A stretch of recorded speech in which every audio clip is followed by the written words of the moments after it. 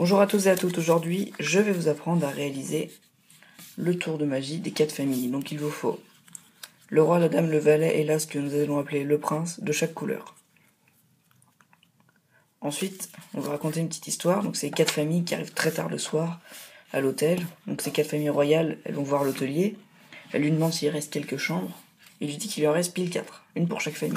Donc elles vont hâtivement se coucher sans trop regarder, sans déranger les autres résidents de l'hôtel. Puis en plein milieu de la nuit, on entend un gros boom. Toutes les familles se réveillent. Mais là, qu'est-ce qui se passe? Les quatre rois sont ensemble, les quatre dames sont ensemble, les quatre valets sont ensemble, et les quatre as sont ensemble.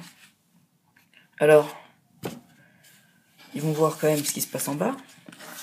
Ils retrouvent toutes les autres familles. Puis ils remontent dans leur chambre se coucher, parce que finalement il s'était rien passé. Ils se recouchent,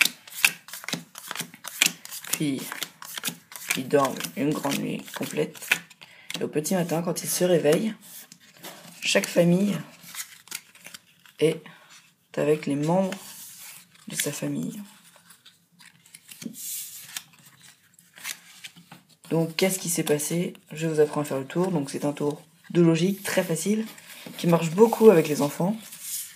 Avec les adultes, il est facile à comprendre, je pense. Donc, qu'est-ce qui se passe en fait? C'est que on a juste à, mélanger les cartes. Euh, quand on les distribue, on les met par famille. Comme on les distribue, on met un de chaque famille comme ça. Et faut bien veiller à ce que l'ordre soit le même pour que les rois se retrouvent tout le temps ensemble, les valets tout le temps ensemble. Donc là, j'ai fait une erreur, vous voyez. Les valets tout le temps ensemble, et voilà dames tout ensemble et le roi tout ensemble. Donc, là, ils dorment. Puis quand ils se réveillent, on les met tous les uns après les autres.